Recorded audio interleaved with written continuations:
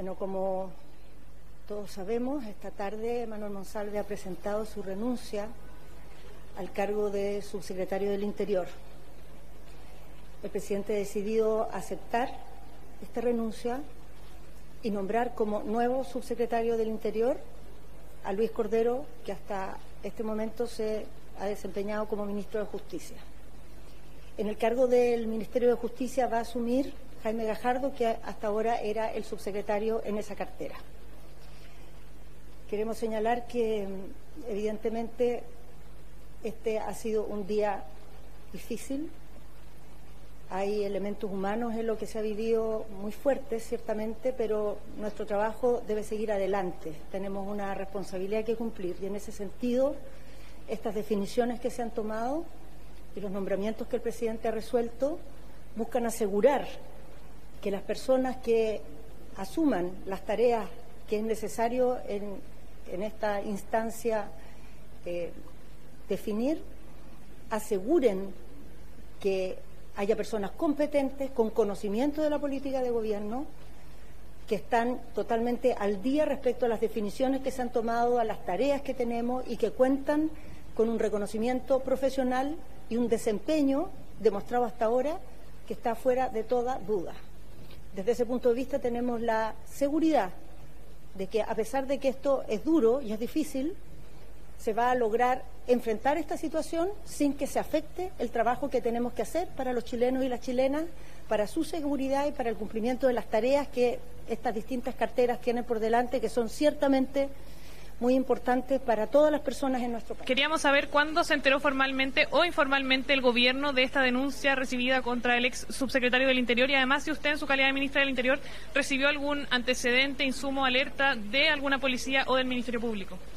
Sí, la primera información sobre esto eh, la recibí yo en la tarde del día martes. Se la informé inmediatamente al presidente que se reunió con el subsecretario Monsalve durante la noche, porque él se encontraba en el Congreso en este momento. En ese instante se decidió que lo primero que había que hacer es que él viajara a su casa donde está su familia, en la región del Biobío, para informarles de la situación, para volverse a reunir el día de hoy, terminada la presentación del presupuesto, a definir el curso de acción. Y en el transcurso de esas horas es que el subsecretario definió esta renuncia que se ha dado a conocer gobierno no tomó eh, la decisión de removerlo antes, pensando en que el gobierno ya estaba eh, al tanto de esta situación desde el día martes y eh, se espera hasta una publicación de un medio de comunicación? No, no se esperó a la publicación de un medio de comunicación. Se definió que lo primero es que él fuera a avisarle a su familia y que una vez hecho eso se tomaran las definiciones y en ese proceso es que el subsecretario definió su renuncia y el presidente aceptarla. Ministra, ¿hay un sumario administrativo abierto en relación a este tema? Sí. ¿Por qué causal? Desconozco el detalle, pero es para esclarecer todas las situaciones que pueda haber implicadas en la situación. Ministra, eh, ¿qué manifestó el presidente tras conocer esta denuncia? Él le pidió la renuncia al subsecretario. Le hacemos esta pregunta porque el presidente, desde la campaña presidencial, ha sido muy claro en su postura sobre la agenda de género y hay líneas para el gobierno que no se traspasan en ese ámbito. Sí, efectivamente, y aquí no se han traspasado. Las cosas son tal como se han conocido, ¿no? Tal como se han conocido, apenas se tuvo la información que quiero señalar hasta el día de hoy, ni Manuel Monsalve ni las autoridades de gobierno conocemos la denuncia. Sabemos una información muy general, pero con esos antecedentes generales se tomaron estas definiciones y todos hemos estado de acuerdo que es el mejor curso de acción a tomar por el bien del funcionamiento del gobierno y también porque es el criterio que tenemos en esta materia. Y al respecto también es importante decir, porque en los próximos días se van a decir muchas cosas, se van a escuchar muchas versiones.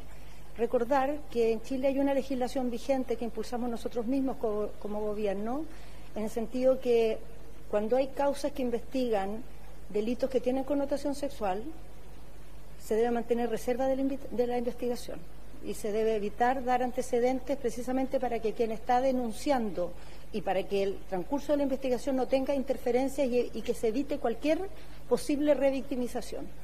Por esa razón, ni lo hemos hecho ni lo vamos a hacer. Entregar más elementos no nos corresponde, además, porque la investigación está radicada en el Ministerio Público, no en el Gobierno. Gobierno, sí, quería preguntarle eh, si es que, eh, ¿por, qué, ¿por qué razón el presidente sale a dar una declaración de un tema completamente distinto con algo que el gobierno, entendemos, sabía que iba a venir a cambiar la agenda, que es esta denuncia contra el subsecretario del Interior, ex subsecretario? Y aparte, eh, quería preguntarle si el gobierno ha tomado contacto con la víctima, si esta es una persona que sigue cumpliendo funciones en el gobierno. Sigue siendo funcionaria, pero está con licencia. Eh, y respecto a por qué hizo la declaración el presidente, porque era oportuno hacerlo, porque se tomó una definición en algo que como jefe de Estado él considera que corresponde dar un pronunciamiento.